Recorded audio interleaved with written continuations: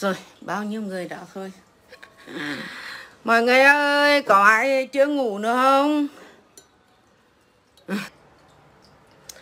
Vì có một cái thằng nó nó rốt quá.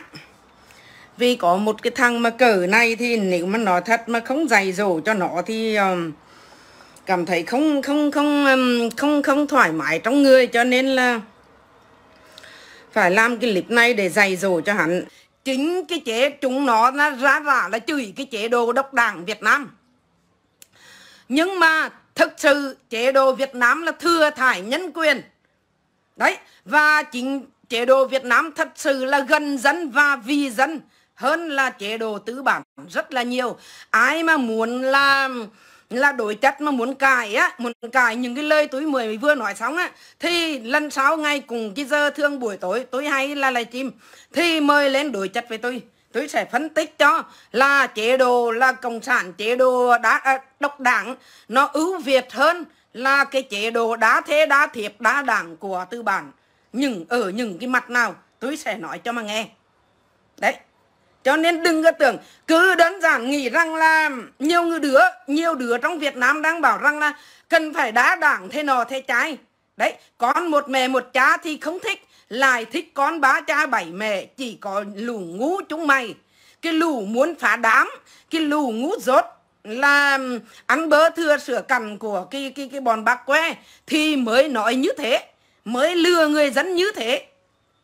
Đấy con một cha một mẹ không muốn lại muốn con ba cha bảy mẹ.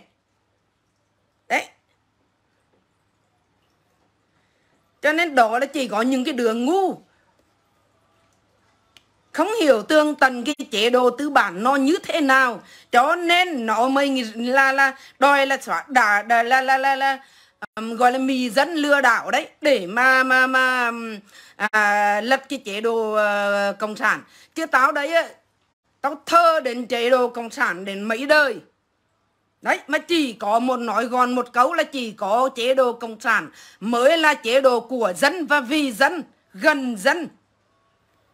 Đó này chúng mày đừng có hòng mà lừa mì khi mà tao đã lên đứng đấy trên cộng đồng mạng này để mà nói á, tao phân tích đến nơi đến chốn luôn. Còn đứa nào mà nói chế độ tứ bản hơn chế độ độc đảng của cộng sản việt nam, thì mời lên đây đối chất đấy, mời lên đây đối chất về tao, về tôi. Đấy, cho nên mình rất mong mọi người chia sẻ. Để cho người dân trong nước không ngộ nhận đến cái chế độ tư bản nha mọi người. Sáng mỹ rồi thì tưởng là tưởng là Mỹ là thiên đường, thấy nhiều bớ, nhiều sữa. Nhưng mà nó không biết rằng đó là cả châu Âu và châu Á là hùn hạp vô cho Mỹ để Mỹ đánh Việt Nam cho nên nếu nó tưởng mì rau nhưng mà sáng đến nơi rồi á, thì ai ngờ rằng là hơn 41 hơn 41 phần trăm dân số Mỹ là vô gia cư chuối gầm câu gầm cổng như chuột cổng.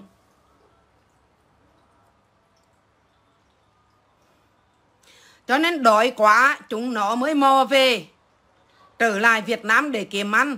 Mồm á, thì ráo giảng rằng là là là là là là, là, là chửi rằng là chế độ độc đảng là à, không có nhân quyền thì lò thế trái thầy vậy và cả người Mỹ là cả nhân quyền rất cao. Vậy tại sao không ở bên cho sướng sướng? Cả người Mỹ là thiên đường vậy sao không ở bên cho sướng sướng chứ? Về Việt Nam làm chi? Cho khổ đến dư con cầm ly là thê thốt rằng là, khi nào mà cộng sản chết đi thì tôi mới về. Nhưng mà bữa ní cũng không chờ được nữa là vì đói thúi mồm ra, cho nên là phải về.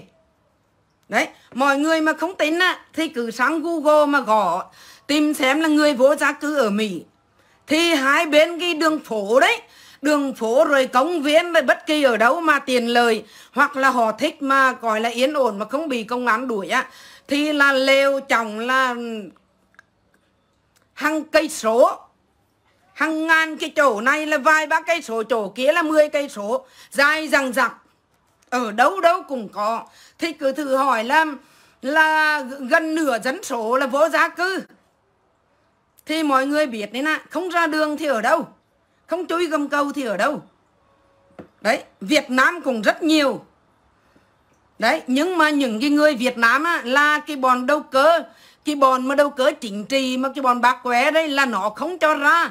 Nó không cho trường mặt ra mà nó bắt trốn rất kỳ. Để chúng nó mới làm video về rồi là như thằng trương quốc huy đấy. Nó mới sáng bữa trước thì bữa sau đã thấy nó là chảnh chòe đứng lại chim trong kia à, trong một cái nhà rất đẹp. Không cho thấy cái nhà đó. Nhưng mà à, nhưng mà trước một cái lò sưởi là rất là to rộng và đẹp. Đấy có vẻ rất là sáng chảnh.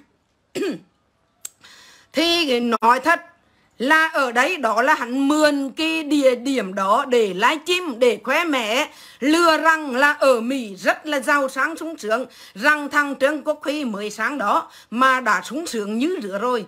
Cô nói câu nào cũng đúng không sai một câu nào hết. Rồi cảm ơn đùa hoàng nếu mà cảm thấy hay thì nhờ con chia sẻ cho cô với nha. Chứ nick cô, nick mới ra ít người à, ít bàn tương tác lắm. Đây, thì ở đó là chúng nó là ché đầy, dùng cái màn đó để mà lừa đảo cái bọn trong nước như con cẩn thì theo, rồi là mẹ con con lán với bọn rần rệp đấy. Đây, thì cụ thể mới đấy là con nấm và là như thằng Việt Kháng này, khí sáng đấy thì thấy chúng nó là gian cảnh ra là đứa đón ra tăng hóa nó kia hắn đã súng sướng quá rồi hắn hét lên rằng là mẹ ơi con sẽ về. Đây đấy mẹ ơi con sẽ về. Thì mình nói thật với các bạn là cái sáng cái nước tư bản rồi riêng các cái loài tị nạn là có thể được trở lại Việt Nam. Nhưng cái loài mà um, tị nạn chính trị như con nấm như thằng Việt Kháng đấy là đến chết cái tró cốt của hắn cùng chưa hẳn đã được đưa về Việt Nam đấy, mọi người nè, như thằng cô Hoa Huy Vũ đấy. Dư mà cho hẳn về là hẳn mừng hơn con hẳn chết sống lại. Chứ đừng có nói là cha hẳn chết sống lại nha. Kể cả con nấm, cái khí mà hắn ra tu ở Việt Nam đấy, trời ơi hắn trẻ mà hắn béo trắng hắn tươi tốt. Hắn ra tu Việt Nam nha. Nhưng mà sáng Mỹ rồi, được 6 tháng thì là cái drama của bà Phương Hằng xuất hiện. Và ra Mỹ thì trong khi đó, hắn cũng được 6 tháng là nhà nước Mỹ nuôi. Đấy, thì là cái cử là khoảng là một tháng là 80 đô cho đến trăm hai. Đấy, là được đáng được nhà nước nuôi. Thì có nghĩa là chưa phải lo cái ăn lắm, có nghĩa là cũng đói. Bởi vì nó chỉ những cái bọn mà mà mà tị nạn chính trị như chúng nó đó, là mãi mãi sẽ không được về Việt Nam là một. Hai nữa là không được đi làm. Đây thì và sau đó là chỉ được có 80 euro 80 đô la một tháng. Thì bánh mì cũng không đủ ăn không thể đủ ăn được. 80 đô mà về Việt Nam thì còn có thể là uh, đổi ra thì nó tránh lệch giữa cái đô với đồng Việt Nam đấy. Thì cảm thấy là nhiều. Nhưng mà 80 đô mà tiêu bên đó thì nhoăng một tí là hết như gió thổi nhà trống luôn. Đấy mà chúng nó khìa ra. Những cái bọn đầu cớ chính trị bác qué đấy nó khìa ra là ăn rồi không làm gì chỉ ngủ rồi là à, là cứ đầu, đầu tháng đến cuối tháng cuối tháng đến đầu tháng là sáng đầu tháng là có 80.000 đô. Nó nói là 80 nghìn à, 8.000 đô quên đi xin lỗi. Nó nói là 8.000 đô ăn rồi không làm gì cứ đầu tháng là có tháng 8.000 đô.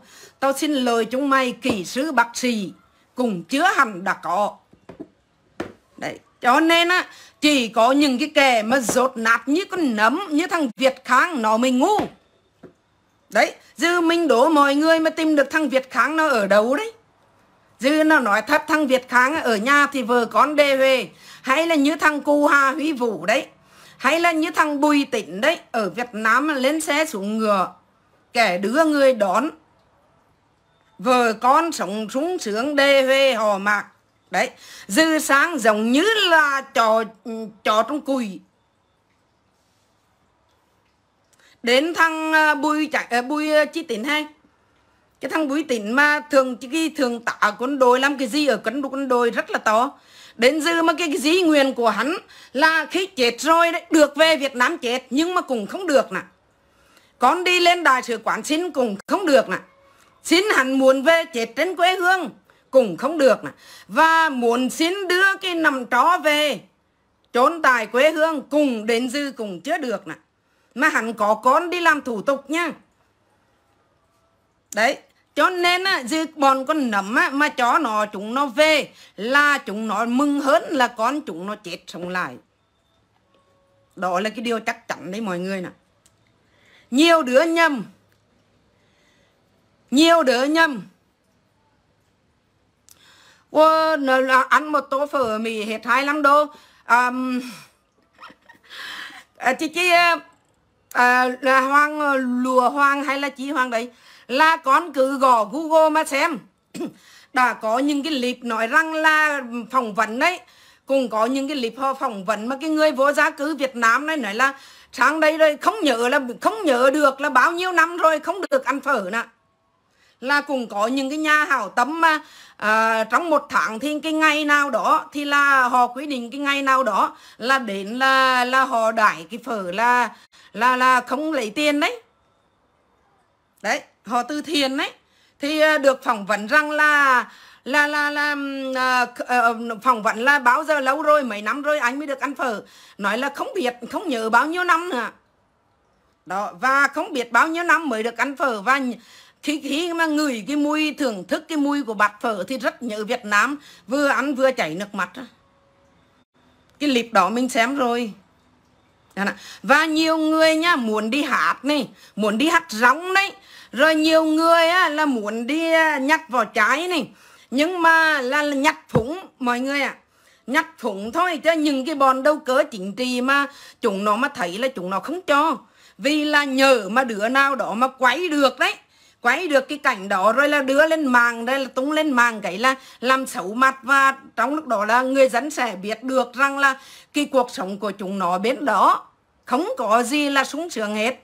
Thì à, luật sư Bùi Thanh đấy Đấy, trước con nấm đi sang trước con nấm là luật sư Bùi Thanh là ở nhà này. Có phải là tôi nghĩ rằng là cái dạng cỡ luật sư như thằng cu Hoa Huy Vũ cũng thế. Nó cũng là cái dạng có ăn có học mà không hiểu sao mà nó ngu như thế. Thật đấy. Nếu như là đứa trẻ con như thằng Việt Kháng thì tôi nghĩ là con là gọi là nó là do ngu dốt thiếu nhận thức mà nó có thể bị mắc lừa. Đấy nhưng mà như cái thằng cu Hoa Huy Vũ đấy thì tại sao mà để chúng nó lừa? Đây rồi á, đến khi rồi, thì sáng đó rồi à là như của vợ chồng cô Hà Huy Vũ đấy, thì là con phải là ở đấy á, ở cái sự tư bản là người giờ hoặc là như Việt Nam bây giờ nữa cuộc sống bây giờ người ta cao rồi. Xung quanh những cái cụ cánh chung cư là người ta trồng hoa, rồi người ta trồng cây cảnh nọ kia thì hai vợ chồng hắn cùng xuống dừng một quấy một cái clip rằng là cái cây hoa hồng này là cái người bạn bên Pháp sáng thăm hắn. Sáng thăm vợ chồng hắn rồi chó hắn rồi là hắn trông ra đỏ rồi dư tốt như thế này. Trời đất ơi! Có nghĩa là nó nói được cái gì thì nói để mà lừa mì người dân. Và cũng nói đến những cái chuyện này á, là uh, nói lại cái thằng trưởng Huy sán đấy nếu như rất rất nhiều người mọi người ạ à, nói để cho mọi người biết nhá. Rất rất nhiều người không muốn dây với cái bọn này. Cái bọn đâu cớ chính trị những cái, cái là cái thằng Minh Quân đấy cái tổ chức của thằng Minh Quân đấy. Không muốn dây họ muốn yên ổn để làm ăn và không phải đóng tiền nuôi bọn đó. Nhưng mà chúng nó cứ là vài ba bữa hoặc đến tháng là chúng nó thu tiền. Mà không nộp tiền cho chúng nó á, thì là chúng nó phá đủ cái kiểu. Nào là rạch xe nào là đốt xe đốt cửa hàng cửa họ. Đấy chúng nó tăng tần lương tâm lắm mọi người ạ. À. chứ không phải nữa đâu. Nhiều người họ không muốn dính đến cái bọn này nhưng mà không có cơ hội. Mà nếu á, là họ phải đi những cái vùng hẻo lánh ở một mình. Ít người Việt ấy để trốn. Đấy. À, giống như là cái Nguyễn Văn Thiều cái hồi mà đi sáng đó thì Nguyễn Văn Thiều thì không phải là nhảy tàu nhảy xuông hắn có trực thăng đưa đi nhưng mà có điều là sáng đó rồi cũng rất nhiều đứa là hành nó bắt nó phải cái, bởi vì cái tiếng làm có 16 tấn vàng đấy. Bắt nó phải nhả ra cho nên Nguyễn Văn Thiều, mặc dù là sáng đến cái đất Mỹ rồi, nhưng mà vẫn sống trong cái sự khổ sở và là, gọi là rất là khổ. Đó, và khổ hơn nữa đó là ngày ngày nào cũng bị những cái bọn đó đến để đòi tiền. Đó là một. Đó là và cái bản chất là mình đã xem được một cái tờ báo Mỹ mà nó dịch sang cái tiếng ở này ở đấy luôn, là nó nói rằng có một cái à, người Việt Nam đã khái nhận rằng là phải, có nghĩa là cái mùa đông là rất lạnh, không ờ, ấm đến 20 từ ấm nhẹ nhất là 20 độ cho đến 40 45 độ. Ban đêm đấy, ở dưới gầm cầu, lòng đất là ấm nặng như thế đấy mà không thể trụ được mọi người ạ. Thì họ nghĩ ra cái chiêu là mai cái giáo cho sắt, rồi là đi um, đi đi đi đi chọc lục xe ô tô đầu ngoài đường đấy. Ô tô bên này là chủ yếu là đầu đầu ngoài đường, rồi là đi chọc cho thủng lục xe đấy nhưng mà chọc phải làm cắn phải làm thế nào mà được khoảng 10 là là là là, là 8 9 10 xe trở lên? Và phải cắn thế nào mà giống như kiểu là để mà có người để cho chó người mà phạt giác ra thấy mình đấy thấy mình đang phá đang đấm lục ô tô đấy để họ gọi cảnh sát đến bắt gọi công an đến bắt để mà họ được vô trong tù để có bánh mì ăn và có nơi ngủ. Cho ấm cũng hơn một chút. Vịt kéo đó mọi người nè. Mà chúng nó, cái bọn bá que đấy, chúng nó đâu cơ rằng là chúng nó lừa đảo, là rằng là là là là là một tháng là tám nghìn đô, ăn rồi không làm gì cũng một tháng tám nghìn đô đấy. Đấy, chứ mà chúng nó mà nói thật, đấy, chúng nó mà nói thật cái chuyện như thế, quay thật những cái cảnh mà ở bên đó người ta gọi là hòm lép, tức là người vô gia cư đấy thì nếu mà quay những cái ảnh đó mà đưa lên, thì con nấm những giờ ngủ chi mà hắn sáng bên đó làm chi? Bọn thằng kháng nó ngủ chi? Con thành rồi là con luật sư thành rồi là bùi tính rồi là cô hà hủy vũ ấy, nó ngủ chi mà nó sáng bên, đấm đầu sáng bên đó? Đúng à mà chúng nó bị lừa. Thì thì nói thật là cũng đáng đời cho chúng nó. Thật sự là đáng đời cho chúng nó con trong lông đỏ hóe con mắt, con ngoài lông ngút ngoắt muốn vô. Cái đầu á, là nó có rất nhiều tác dụng. Đấy, nhưng mà có biết vận dụng cái đầu để suy nghĩ, để là làm lời cho mình hay không thì có đó con phụ thuộc vào từng cái đầu. Đấy, con nấm tưởng rằng là biết được vài ba tiếng Anh thì bởi vì bởi vì nó đã cố tình như thế cố tình là, gọi là cắn chửi nhà nước, cắn xé nhà nước. Để là bằng bất chấp mọi cách để đi, thì tất nhiên là nó sẽ học tiếng Anh. Đấy, thì tưởng thế là hơn người rồi. Tưởng thế là hơn người rồi. Nhưng mà dư sáng đó à để nói lại cái chuyện làm khi ra tù ở Việt Nam mà chuẩn bị lên sân bay, dẫn đồ ra sân bay để sang Mỹ đấy, thì người ta quay cái ảnh tung cái clip của hắn là béo tốt béo đỏ luôn trắng trẻo mà trẻ. Đấy nhưng mà sáng bên đó đến à, gần một năm thì hắn lên là mình thấy cái clip của hắn lên lên nói về Việt Nam. Trước đó hắn cũng nói rồi khi sáng là hắn cũng làm clip nói rồi. Đấy cùng make up rồi nhưng mà là sáng chắc là à ta đã thấy được rằng lêu lêu chồng chồng lớp lớp là những người vô gia cư thấy được cái sự thật của cuộc sống của Mỹ không như mơ tưởng. Không thật sự là thiên đường như hẳn mơ tưởng. Cho nên cũng đã sụt áp một ít. Và khi đó thì đang được nhà nước Mỹ nuôi đến 6 tháng. Cho nên cũng chưa có nhiều lo lắng lắm. Đó. Nhưng mà đến khi mà cái lịch của ba Phương Hằng ra cái drama này, thì hắn cùng nhảy vô để cắn xé để là cắn xé thì thì nói thật là đến cái giai đoạn đó là có nghĩa là hắn nó đã sang Mỹ được hơn một năm rồi mà tôi tưởng tượng rằng là cho dù cái khí rá đó là cái bọn này nó rất là mau, rất hay là mau để mà lừa bịp những cái bọn dân chủ trong nước đấy lừa mẹ con cần thì thiếu đi lừa mẹ con con lán đi đấy, như lừa nhiều lắm. Cho nên chúng nó phải làm mau và dù là make up rồi, nhưng mà cái tôi nhìn hẳn là giống như kiểu mà mà gọi là cô bà ngoại tôi á. Con tan tà hơn là cả bà ngoại nè. Nó vừa ra, nó gây mà xấu xí thì vô cùng luôn. Cho dù là hắn đã mất cúp, cho dù là hắn đã áp. Đấy. Trời ơi, tóc thì bạc trắng ấy mà nói thật á tóc thì bạc trắng, mà làm gì mà có giữ tiền để mà nhuộm tóc? Tôi nói thật đấy. Nhuộm một cái tóc mà mua đồ về để mà mua cái gói nhuộm tóc để về mà nhuộm thì ba bốn đồng, năm sáu đồng trở lại. Năm sáu đô trở lại là thứ cao tiền nhất đấy đó. đó. Nhưng mà nhuộm tóc rồi thì lấy chi mà ăn? Được 80 đô thì ăn chi cho đủ tháng?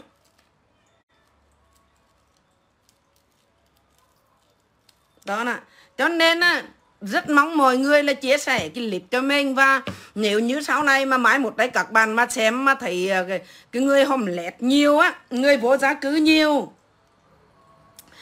thì nhờ mọi người là chia sẻ những cái hình ảnh đó lên. Đấy chia sẻ những cái hình ảnh đó lên để cho cộng đồng thấy và không mắc lừa những cái bọn mà à, la la la la bên mỹ mà nó lừa đảo đấy đây, mình cho mọi người xem này. Ở cái chỗ này là con sách xe nha mọi người. Vì giống như là họ đang mới, bọn người vô gia cư là họ mới chuyển đến đây. Con đến đây nữa là leo chồng. Mày kia. Đấy đấy này, rất là nhiều. Mà ở trong cái mày cũ á, thì là họ con chuối dưới gâm gâu nhiều lắm đây nhưng mà sáng cái mày mới này thì là mình mới chụp được ít, mình mới lấy được ít thôi chứ còn trong cái máy mà đang livestream đấy thì nhiều lắm này. Đó nè, cho nên á, mà có phải là được ở lâu đâu mọi người. Đến nơi này được một ngày, hai ngày thì gọi là đây.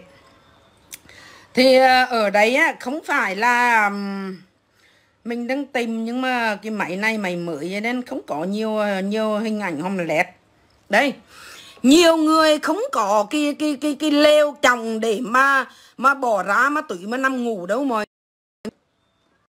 quan cho một tí. Hết pin mất rồi mọi người ơi. Đấy, không có cái lều như lều du lịch để mà nằm đâu, đừng có tưởng. Mà là chắn chiếu rồi là vả chăng vả đục. Để mà có một, thứng lại một cái chỗ kín đáo để mà ngủ. Không phải là kín đáo đâu, nhưng mà thì mọi người cứ nở tim đi rồi biết. Sẽ là hăng hà xá số luôn mọi người ạ. à rất là nhiều. Cho nên là dư mình à, máy mình hết pin mất rồi cho nên là mình à, à, xin kết thúc clip tại đấy nha mọi người. Rồi mọi người muốn tìm hiểu thì là cứ gõ là người vô gia cư ở bất kỳ nước nào cũng nhiều. Nhiều hơn Việt Nam gấp hàng chục lần hàng trăm lần chứ Việt Nam chả là cái chi cả. Mà Việt Nam họ cũng đang có tiền để là thuế phong trào mà ở. Rồi Việt Nam á, là chủ yếu nhà nước đã xóa đói, giảm nghèo. Những cái người mà không có tiền để ăn, uống, rồi sinh hoạt các thứ, nhà cửa, thì chính quyền cho xây cho một gian nhà để ở. Và trợ cấp tiền ăn hàng tháng. Đấy, cho nhưng mà vẫn có những người ở hâm câu hâm hâm câu ở ờ, cộng cộng các thứ, là vì do những họ là nông dân ở tỉnh các thứ đấy, thì những cái mùa nông nhàn sóng nông sóng về cai cấy rồi, họ lên thành phố đấy, họ lên thành phố để bán buôn, bán vé số nọ kia, thì là họ chấp nhận phải ở như thế. Đấy, mà ở như thế thì nhà nước cùng đi gom về để ở chúng một cái à, nơi nào đó, chứ họ mất cái thẩm mỹ của thành phố là người Việt Nam. Rồi là mọi người là nên làm một cái bầy thép của mình, coi thử mình nói có đúng không? Là sang Google gõ xem, gõ tiếng Việt thôi. Là tìm người vô gia cư ở Mỹ rửa thôi. Là nó hiện ra hằng hà xá số lớp.